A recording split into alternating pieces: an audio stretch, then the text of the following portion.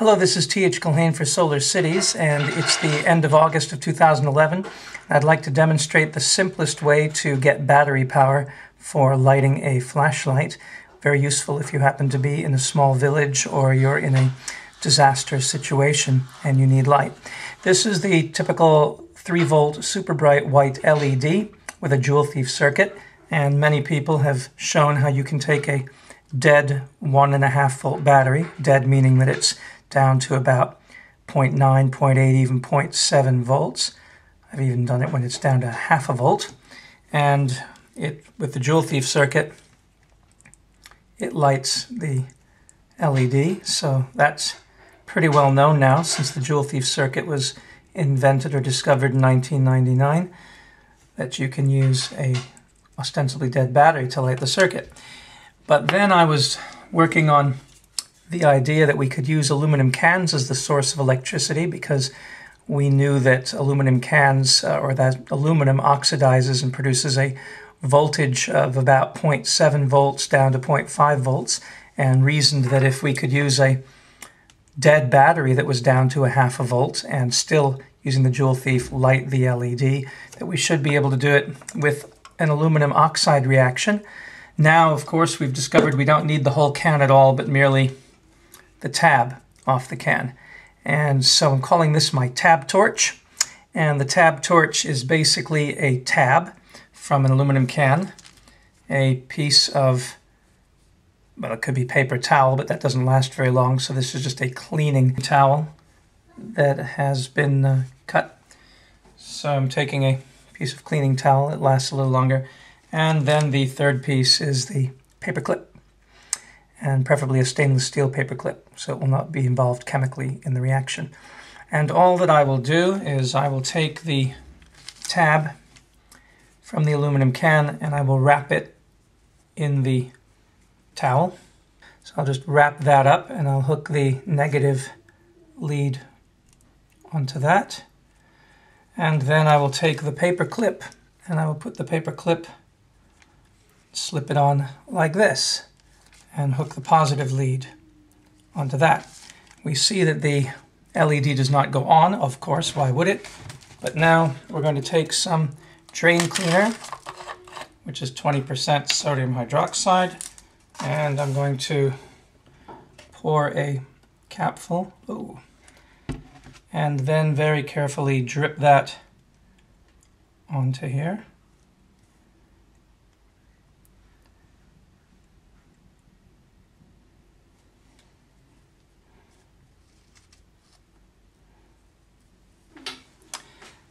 And what we see is that uh, the 20% was too strong, but when we added some, some water and diluted it a little bit, then we get the chemical reaction that leads to the light going on. So you can see from here, now it's off, now it's on. Now it's off, now it's on.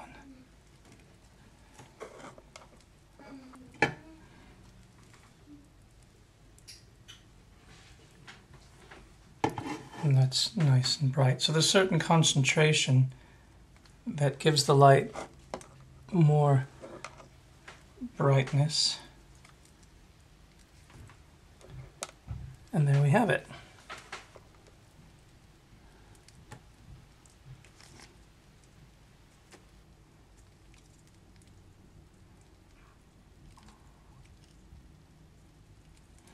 This is probably the simplest circuit that you could possibly imagine.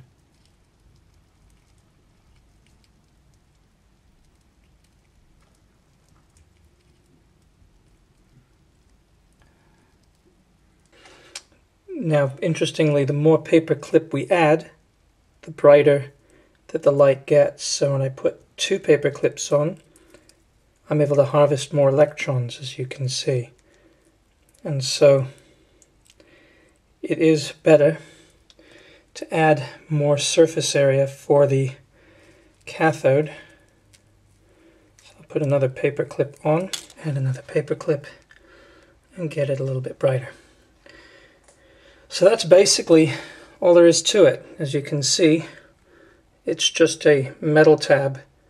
This is soaked in a little bit of sodium hydroxide uh, water solution with a bunch of paper clips on the outside. And it works perfectly well. As you can see, the aluminum is the anode. It's very slippery because of the sodium hydroxide. And there it goes. Now it's on. So, that's uh, that's how we make the simplest of all aluminum oxide batteries.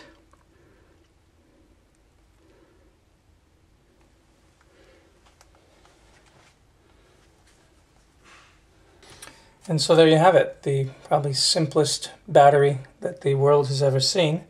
Just paper clips, piece of cloth towel, and beer tab or soda can tab, and that produces the requisite voltage for the joule Thief to be able to light the LED.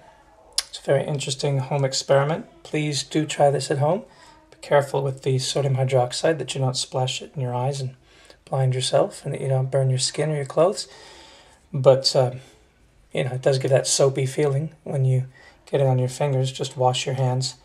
But that's all there is to it. It's, um, once again, we can disassemble this circuit show you how simple this is. So it's basically a beer tab.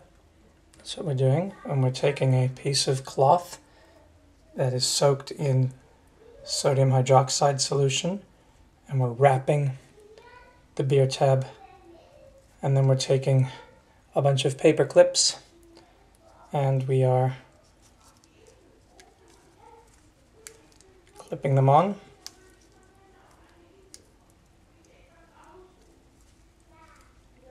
And as you can see, the LED goes on. So, can't get much simpler than that. There's the LED glowing. And there's the circuit. A little bit of hydrogen evolving there. Paper clips. And of course, if we put water on it, pour a little bit of water because we don't really need it to be bubbling so much. Ooh, it flutters.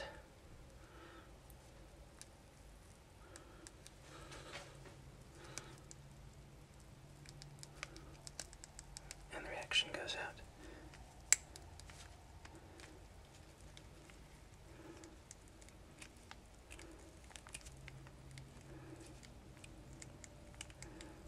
So we'll put a little bit more sodium hydroxide on it, and there it goes. Maybe that's not too much. Add a little water, and it begins to glow again. There we are. Nice glowing LED from what is basically no more than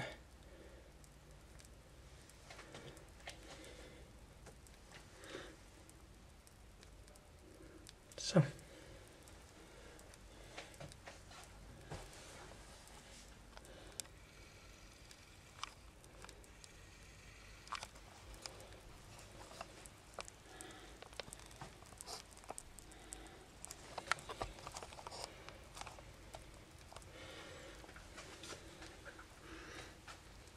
Again, we can see if we take it apart what this is made of. It's just the battery here is just a tab of a soda can for the anode and then we wrap it in a towel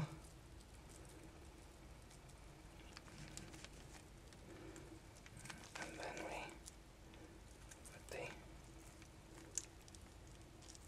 paper clips on it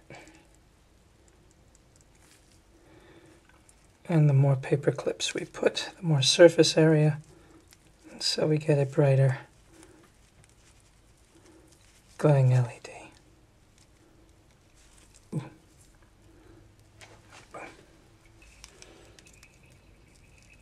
See. If we put more paper clips to get more surface area, then we get a much brighter glow.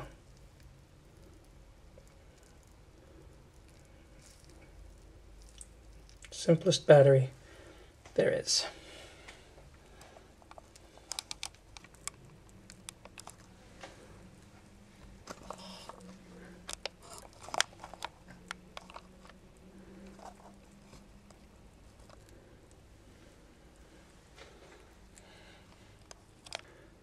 To test how long the circuit will last, we put it in a Tupperware container a sponge and some water and that will hopefully keep the electrolyte going. We probably put a little bit more water in.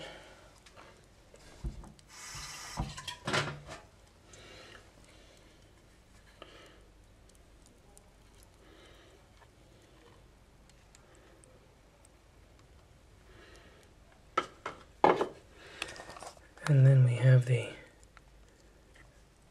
ability to keep it wet to keep the circuit going.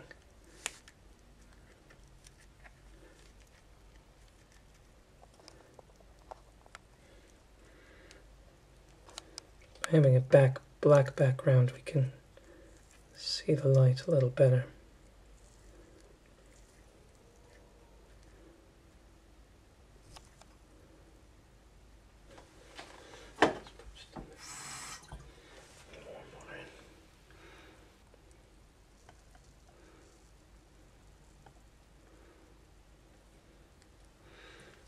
go. We can see how long the piece of aluminum lasts.